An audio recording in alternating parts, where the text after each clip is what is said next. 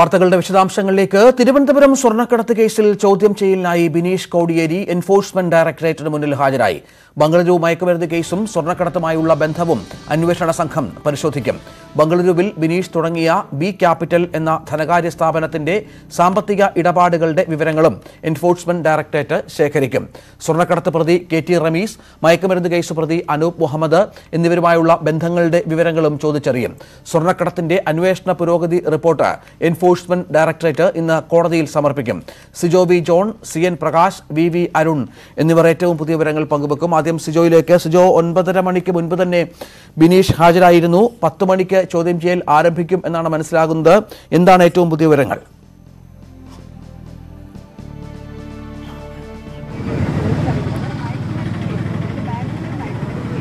അരമണിക്കൂർ മുമ്പ് തന്നെയാണ് ബിനീഷ് കോടിയേരി ചോദ്യം ചെയ്യുന്ന ഹാജരായത്. പത്ത് മണിക്ക് എത്തണം ആവശ്യപ്പെട്ടിരുന്നെങ്കിലും ഒമ്പതരയ്ക്ക് മുമ്പ് തന്നെ അദ്ദേഹം ചോദ്യം ചെയ്യുന്നുണ്ട്. എത്തി. എന്തായാലും അല്പസമയത്തിനും തന്നെ ചോദ്യം ചെയ്യൽ ആരംഭിക്കും. കൃത്യമായ ചോദ്യാവലിയും എൻഫോഴ്സ്മെന്റ് ഡയറക്ടറേറ്റ് തയ്യാറാക്കിയിട്ടുണ്ട് അതിന്റെ അടിസ്ഥാനത്തിലായിരിക്കും പ്രാഥമിക ഘട്ടം എന്ന നിലയിൽ ചോദ്യം ചെയ്യൽ ഉണ്ടാവുക.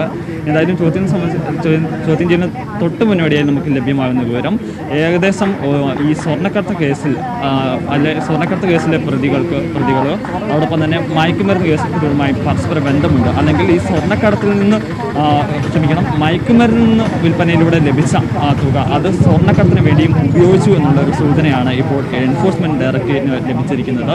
ഈ പ്രതികളുടെ എല്ലാം പശ്ചാത്തലം എൻഫോഴ്സ്മെന്റ് ഡയറക്ടറേറ്റ് പരിശോധിക്കുകയും ചെയ്തിട്ടുണ്ട്. ഇതിന്റെ അടിസ്ഥാനത്തിൽ ഇപ്പോൾ നാർക്കോട്ടിക് കൺട്രോൾ ബ്യൂറോയുമായി ഇപ്പോൾ ഇ ഡി സംസാരിക്കുകയും ചെയ്തിട്ടുണ്ട്. ഇപ്പോൾ നിലവിലുള്ള ആളുകളും അതോടൊപ്പം തന്നെ ഇതുമായി ബന്ധപ്പെട്ട ഇരുപത് പേരെ ചോദ്യം ചെയ്യണം എന്നുള്ള നിലപാടാണ് ഇ ഡി സ്വീകരിച്ചിരിക്കുന്നത്. അതിന്റെ അടിസ്ഥാനത്തിലായിരിക്കാം ഇനി മുന്നോട്ട് പോകുന്നുള്ള കാര്യം വ്യക്തമാക്കുകയും ചെയ്തിരുന്നു എന്തായാലും ഈ ഇടപാടുമായി ബന്ധപ്പെട്ട് സ്വർണക്കടത്തും അതോടൊപ്പം തന്നെ മയക്കുമരുന്ന് ഇടപാടുമായി ബന്ധപ്പെട്ട് പരസ്പര ഗൗരവങ്ങളായ അല്ലെങ്കിൽ ഏറെ സാമ്യമുള്ള നിരവധി ബന്ധമുള്ള തെളിവുകൾ എന്തായാലും ഇ ഡിയെ സംബന്ധിച്ച് ലഭ്യമായിരിക്കും എന്നുള്ള കാര്യമാണ് ഇപ്പോൾ നമുക്ക് പുതിയതായി നൽകാൻ സാധിക്കുന്നത്. എന്തായാലും ബിനീഷ് കോടിയേരിയും ബിനീഷ് കോടിയേരിയിലേക്ക് കടക്കുമ്പോൾ ഇതുമായി സാമ്പത്തിക ഇടപാടും അതോടൊപ്പം തന്നെ മയക്കുമരുന്ന് ഇടപാടുമായി ബന്ധപ്പെട്ടും കൂടുതൽ വിവരങ്ങളിൽ ഇ ഡി എന്തായാലും ചോദിച്ച് അറിയേണ്ടതുണ്ട്. എന്തായാലും ബിനീഷിനെ ഈ കേസിൽ കൂടുതൽ സംശയത്തിന് മുൻ മുൾമുനയിൽ നിർത്തിയിരുന്നത് പ്രാഥമികമായ ഒരു ചോദ്യം ചെയ്യൽ എന്ന് തന്നെ കാണാമോ? ഇന്നത്തെ ചോദ്യം ചെയ്യലിനെ. കാരണം ഇനിയും ബിനീഷുമായി അടുപ്പമുള്ളവരുടെ വിവരങ്ങൾ ശേഖരിക്കാനുണ്ട്. അതിനുശേഷം മറ്റ് ദിവസങ്ങളിൽ ചോദ്യം ചെയ്യലിന് ബിനീഷിനെ വിളിപ്പിക്കും. അങ്ങനെയാണോ വ്യക്തമാകുന്നത്? ഇന്നത്തെ ചോദ്യം ചെയ്യൽ ഒരുപാട് സമയം നീണ്ടു നിൽക്കാനുള്ള സാഹചര്യമുണ്ടോ?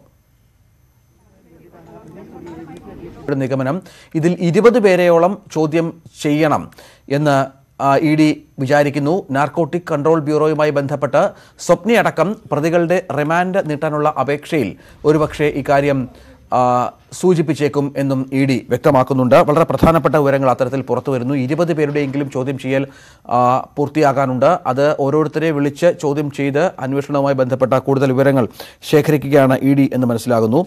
ഇപ്പോൾ നമ്മോടൊപ്പം സി എൻ പ്രകാശും ചേരുന്നു. പ്രകാശ് ഒരുപാട് വിവരങ്ങൾ ബിനീഷുമായി ബന്ധപ്പെട്ട്. കാരണം ഹവാല ഇടപാടുകളുണ്ട്.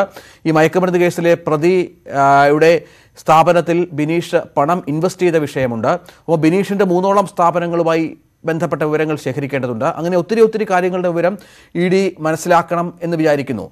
ഇതിനുള്ള ചോദ്യം ചെയ്യൽ ആരംഭിച്ചു എന്നും കരുതുന്നു. എന്താണ് ഇ ഡി ലക്ഷ്യം വെക്കുന്നത്? ഇരുപത് പേരിലേക്ക് ചോദ്യം ചെയ്യൽ വരുമെന്ന് പറയുമ്പോൾ കൂടുതൽ കൂടുതൽ ആളുകൾ ഈ വിഷയവുമായി ബന്ധപ്പെട്ട് വരുന്നു. ബിനീഷ് കൊടിയേരി ഇനിയും ഇവരുടെ നിരീക്ഷണ വലയത്തിലായിരിക്കും. അങ്ങനെ വേണ്ടേ മനസ്സിലാക്കാൻ.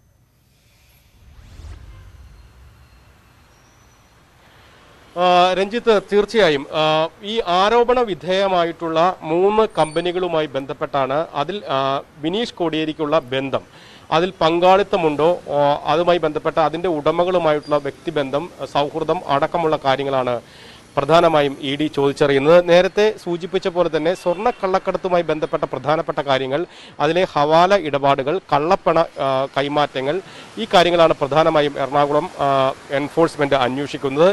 ഈ അന്വേഷണത്തിന്റെ ഭാഗമായി തന്നെയാണ് സി സംസ്ഥാന സെക്രട്ടറി കൂടിയായിട്ടുള്ള കോടിയേരി ബാലകൃഷ്ണന്റെ മകൻ നിരവധി കേസുകളിൽ ആരോപണ വിധേയൻ കൂടിയായിട്ടുള്ള വിനീഷിനെ ഇ ഡി വിളിച്ചു വരുത്തിയിട്ടുള്ളത്. അതുകൊണ്ട് തന്നെ നേരത്തെ സൂചിപ്പിച്ച പോലെ തന്നെ മൂന്ന് കമ്പനികളുമായി ബന്ധപ്പെട്ട ആരോപണങ്ങളെ തുടർന്നാണ് പ്രധാനമായും ആ, ബിനീഷിനെ എൻഫോഴ്സ്മെന്റ് വിളിച്ചു വരുത്തിയിട്ടുള്ളത് അതിലേറ്റവും പ്രധാനപ്പെട്ടത് എന്ന് പറയുന്നത് രണ്ടായിരത്തി പതിനെട്ടിൽ തുടങ്ങിയ U A F X solutions എന്ന കമ്പനിയിൽ ബിനീഷിനുള്ള പങ്കാളിത്തം ആണ്. ഈ കമ്പനി വഴി കമ്മീഷൻ ലഭിച്ചതായി സ്വർണ കള്ളക്കടത്ത് കേസിലെ മുഖ്യപ്രതിയായിട്ടുള്ള സ്വപ്ന സുരേഷ് വെളിപ്പെടുത്തിയിരുന്നു.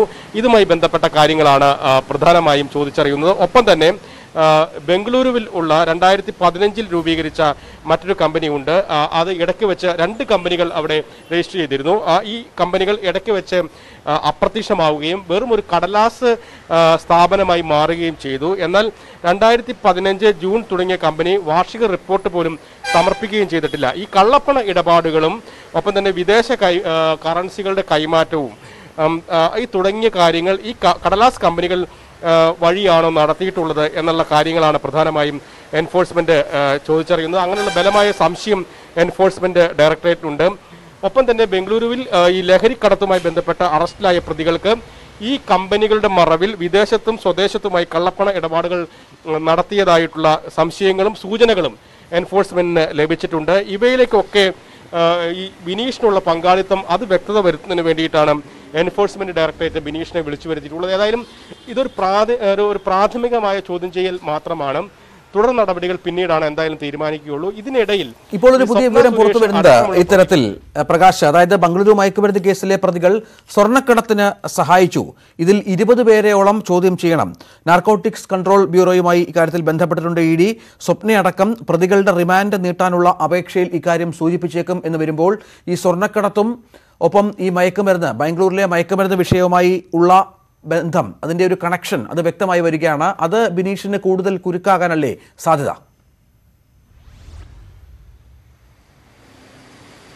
ഞാൻ പറഞ്ഞു വന്ന അത് തന്നെയാണ്. എൻഫോഴ്സ്മെന്റ് ഡയറക്ടറേറ്റ് ഇന്ന് സ്വപ്ന സുരേഷ് അടക്കമുള്ള പ്രതികളുടെ റിമാൻഡ് ആയി ബന്ധപ്പെട്ട റിമാൻഡ് നീട്ടുന്നതുമായി ബന്ധപ്പെട്ടുള്ള റിപ്പോർട്ട് പതിനൊന്ന് മണിക്ക് ശേഷം കോടതിയിൽ സാമ്പത്തിക കുറ്റാന്വേഷണ കോടതിയിൽ സമർപ്പിക്കും.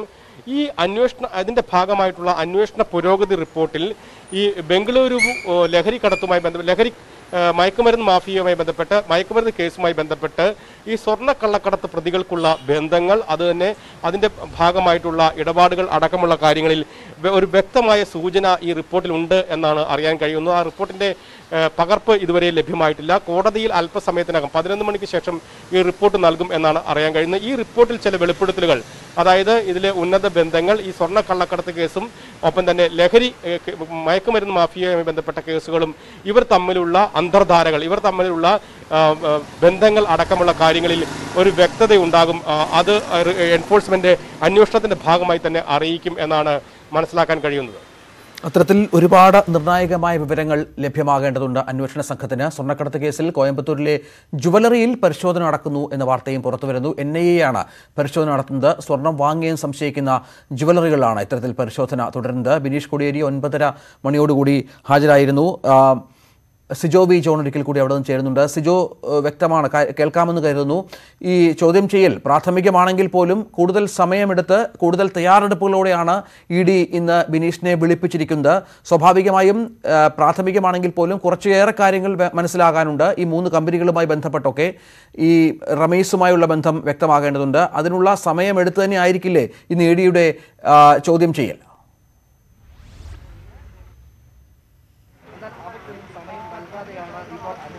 തീർച്ചയായും ഈ ചോദ്യം ചെയ്യൽ പ്രാഥമിക ഘട്ടമാണെങ്കിൽ പോലും കൂടുതൽ വിവരങ്ങൾ ബിനീഷിൽ നിന്ന് ചോദിച്ചറിയേണ്ടതുണ്ട്. അതുകൊണ്ട് തന്നെ മണിക്കൂറുകൾ തന്നെ നീണ്ടു നിൽക്കുന്ന കാര്യത്തിൽ യാതൊരു സംശയമില്ല പ്രത്യേകിച്ച് ബിനീഷ് കോടിയേരിയുടെ സാമ്പത്തിക ഇടപാടുകൾ ബിനാമി ഇടപാടുകളെ ബിനാമിയായി ഏതെങ്കിലും സ്ഥാപനങ്ങൾ പ്രവർത്തിച്ചിട്ടുണ്ടോ? അതോടൊപ്പം തന്നെ മയക്കുമരുന്ന് കേസുകൾ. അങ്ങനെ മൂന്ന് പ്രധാനപ്പെട്ട കാര്യങ്ങളാണ് പരിശോധിക്കുന്നത്. അതിൽ ഏറ്റവും പ്രധാനപ്പെട്ട കാര്യം എന്ന് പറയുന്നത് നിലവിലെ സാഹചര്യത്തിൽ ഈ മയക്കുമരുന്ന് ഇടപാടുമായി ബന്ധപ്പെട്ട് ബിനീഷ് കോടിയേരിയിലേക്ക് എത്തുന്ന തെളിവുകൾ തന്നെയാണ്. നേരത്തെ ഈ കേസിൽ അറസ്റ്റിലായ മുഹമ്മദ് അനുവുമായി ബിനീഷ് കോടിയേരിക്ക് വലിയ അടുപ്പമാണ് ഉള്ളത് എന്നുള്ള കാര്യം ആ, വിവരങ്ങൾ പുറത്തു വന്നു മാത്രമല്ല ബിനീഷ് കോടിയേരിക്കാർ കാര്യം സമ്മതിക്കുകയും ചെയ്തിട്ടുണ്ട്?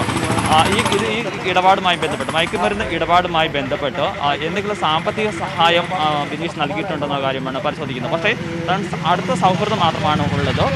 ഹോട്ടൽ ബിസിനസ് പരാജയപ്പെട്ടപ്പോൾ മുഹമ്മദ് അനൂപിന് സാമ്പത്തിക സഹായം നൽകി എന്നുള്ളത് ശരിയാണ്. പക്ഷേ ഈ മയക്കുമരുന്ന് ഇടപാടുമായി ബന്ധപ്പെട്ടല്ല അത്തരത്തിൽ പണം നൽകിയിരിക്കുന്നുള്ള കാര്യമാണ് പറഞ്ഞിരിക്കുന്നത്. പക്ഷേ ഇത് പൂർണമായി മുഖവിലേക്ക് എടുക്കാൻ ഇ ഡി തയ്യാറാകുകയും ചെയ്തില്ല. മറ്റൊരു കാര്യം ഈ സിനിമാ മേഖലയുമായി അടുത്ത ബന്ധമുള്ള ആളാണ് ബിനീഷ് അതോടൊപ്പം അതുകൊണ്ട് തന്നെ ഈ മയക്കുമരുന്ന് കടത്തുന്ന സംഘം മലയാളത്തിൽ തന്നെ പല സിനിമാ താരങ്ങളുമായി ബന്ധപ്പെട്ടിട്ടുണ്ടെന്നും അവർക്ക് മയക്കുമരുന്ന് നൽകിയിട്ടുണ്ടെന്നുള്ള കാര്യവും സൂചനകൾ ലഭ്യമായിരുന്നു. അതുകൊണ്ട് ഏതെങ്കിലും നിലയിൽ ഈ ഇടപാട് ബിനീഷിന് പങ്കാളിത്തമുണ്ടോ? അല്ലെങ്കിൽ ഇടനിലക്കാരനായി അദ്ദേഹം പ്രവർത്തിച്ചിട്ടുണ്ടോ തുടങ്ങിയ കാര്യങ്ങളുണ്ട്. അത്തരത്തിലുള്ള സാമ്പത്തിക ഇടപാടുകളും പരിശോധിക്കേണ്ടതുണ്ട്.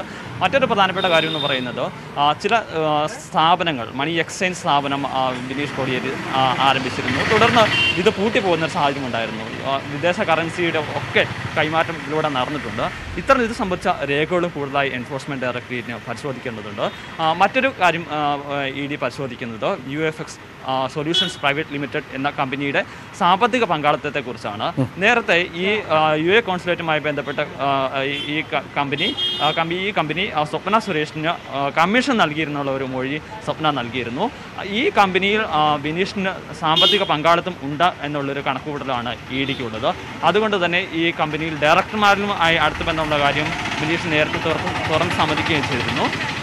അതുകൊണ്ട് തന്നെ ഡയറക്ടർമാരുടെ മുന്നിൽ നിർത്തി ബിനീഷ് സാമ്പത്തികമായി ഇൻവെസ്റ്റ്മെന്റ് നടത്തിയിട്ടുണ്ടോ തുടങ്ങിയ കാര്യങ്ങളാണ് പരിശോധിക്കുന്നത്. അതുകൊണ്ട് തന്നെ ഏതെങ്കിലും രീതിയിലൊരു മൊഴിയെടുപ്പിൽ പ്രാഥമികമായ മൊഴിയെടുപ്പിൽ മാത്രം ഇത് തീരുന്നതല്ല. അതുകൊണ്ട് തന്നെ കൃത്യമായ രേഖകൾ പരിശോധിക്കേണ്ടതുണ്ട്. ഇന്ന് പ്രാഥമിക ഘട്ടം എന്ന നിലയിൽ ബിനീഷിൽ നിന്ന് മൊഴി രേഖപ്പെടുത്തും. അതിനുശേഷം ആ രേഖകൾ പരിശോധിക്കേണ്ടതുണ്ട്. വിവിധ സ്ഥലങ്ങളിലൊക്കെ ഇ ഡി രേഖകൾ പരിശോധിക്കും. മറ്റു ഉദ്യോഗസ്ഥരിൽ നിന്നും മറ്റ് സ്ഥാപനങ്ങളിലെ ആളുകളിൽ നിന്നൊക്കെ മൊഴി രേഖപ്പെടുത്തും. അതിനുശേഷം മാത്രമേ ഒരു പൂർണമായ ഒരു നിഗമനത്തിലേക്ക് ഇ ഡിക്ക് എത്തിച്ചേരാൻ സാധിക്കുകയുള്ളൂ. എന്തായാലും ഇപ്പോൾ നമുക്ക് ലഭ്യമാകുന്ന വിവരം വിവരം അനുസരിച്ച് എന്തായാലും ഈ സ്വർണക്കടത്ത് കേസിലെ പ്രതികൾക്ക് അല്ലെങ്കിൽ അതിൽ നിന്ന് ആ, പ്രതികൾക്ക് മയക്കുമരുന്ന് സംഘവുമായി അടുത്ത ബന്ധമുണ്ട്.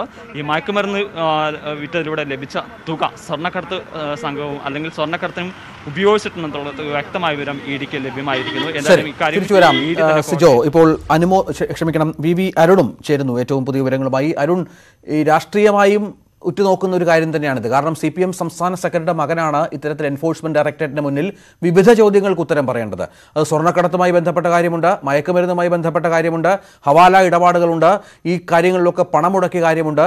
നേരത്തെ കോടിയേരി പറഞ്ഞ പ്രതികരണം മകൻ പ്രതിയാണെങ്കിൽ മകൻ കുറ്റക്കാരനാണെങ്കിൽ തൂക്കിക്കൊല്ലാൻ വിധിക്കുന്നെങ്കിൽ അങ്ങനെ ആയിക്കോട്ടെ എന്നാണ്.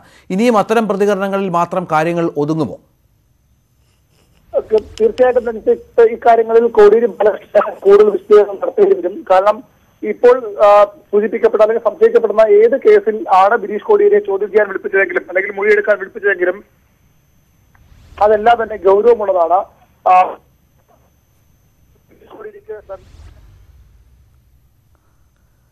ചില സാങ്കേതിക പ്രശ്നങ്ങളുണ്ട്. അരുണിന്റെ ഫോൺ സംഭാഷണത്തിൽ നിന്ന് മനസ്സിലാകുന്നു.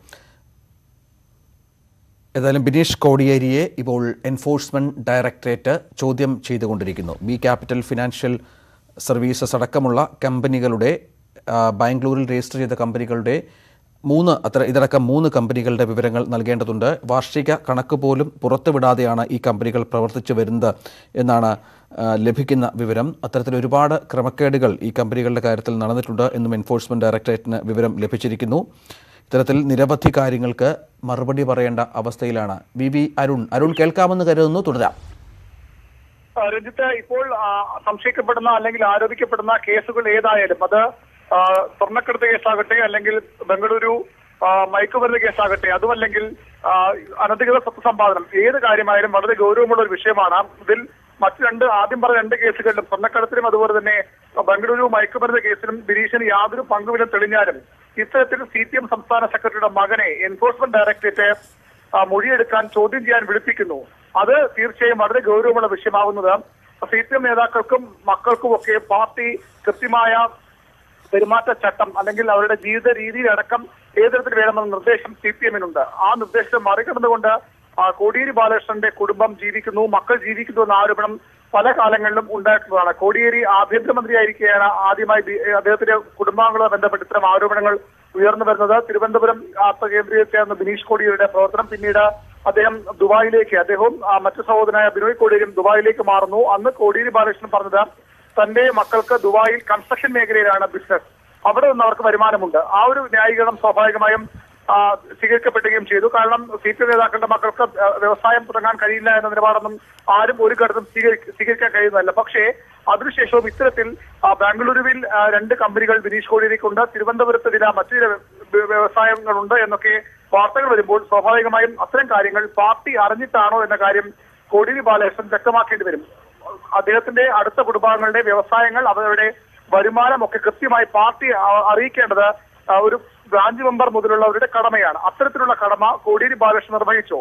അങ്ങനെയെങ്കിൽ ഇത്തരം വിനീഷ് കോടിയുടെ ഇത്തരം വ്യവസായ സംരംഭങ്ങൾ അദ്ദേഹത്തിന്റെ വരുമാന മാർഗങ്ങളൊക്കെ പാർട്ടി അറിഞ്ഞിട്ടുണ്ടോ എന്ന കാര്യവും വളരെ വ്യക്തമാണ്. അങ്ങനെയെങ്കിൽ സി പി എം അതിനെ മറുപടി പറയാൻ ബാധ്യസ്ഥമായി തീരും. അതുവരെ കോടിയേരി ബാലകൃഷ്ണൻ പാർട്ടി സംസ്ഥാന സെക്രട്ടറി എന്ന നിലയിൽ അദ്ദേഹം ബിനീഷ് കോടിയുടെ പിതാവ് എന്ന നിലയിലും ഇത്തരം കാര്യങ്ങൾക്ക് മറുപടി പറയേണ്ടി വരും. തീർച്ചയായും കോടിയേരി ബാലകൃഷ്ണനെയും സി പി എമ്മിനെയും വലിയ രീതിയിൽ പ്രതിരോധത്തിലാക്കുന്ന ഒരു നടപടിയാണ് ഇപ്പോൾ എൻഫോഴ്സ്മെന്റ് ഡയറക്ടറുടെ ഭാഗത്ത് നിന്ന് ഉണ്ടായിട്ടുള്ളത് വരും ദിവസങ്ങളിലും അത് കൂടുതൽ പ്രതിരോധത്തിലേക്ക് സി പി എമ്മിനെ കൊണ്ടുവന്നെത്തിക്കും നേരത്തെ ബിനീഷ് കോടിയേരിക്കെതിരെ ആരോപണം ഉയ- ഉയരുമ്പോഴൊക്കെയും പൂർണമായും ബിനീഷിനെ പിന്തുണയ്ക്കുകയല്ല കോടിയേരി ബാലകൃഷ്ണൻ ചെയ്തിട്ടുള്ളത്. പകരം ബിനീഷ് ഒരു വ്യക്തിയാണ് പ്രായപൂർത്തിയായ വ്യക്തിയാണ്. അത്തരം വ്യക്തിക്ക് അവരുടെ സ്വന്തം താല്പര്യങ്ങൾ ഇഷ്ടങ്ങൾ ഉണ്ടാകും. അതനുസരിച്ച് അവർ പ്രവർത്തിക്കും. അവർ ഏതെങ്കിലും തരത്തിൽ കുറ്റം ചെയ്തിട്ടുണ്ടെങ്കിൽ നടപടിയെടുക്കട്ടെ. രഞ്ജിത്ത്. സൂചിപ്പിച്ച പോലെ അവസാനം ബംഗളൂരു കേസുമായി ബന്ധപ്പെട്ടവരും കോടിയേരി ബാലകൃഷ്ണൻ പറഞ്ഞത് ബിനീഷ് തെറ്റിയിട്ടും ശിക്ഷിക്ക ശിക്ഷിക്കപ്പെടട്ടെ എന്നാണ്. ഏതായാലും അത്തരമൊരു പരാമർശം കൊണ്ട് മാത്രം കോടിയേരിക്ക് ഇതിൽ നിന്ന് മാറിപ്പോകാനാകില്ല. കൃത്യമായ തീർച്ചയായും. അങ്ങനെ ഒരു പ്രശ്നം കൂടി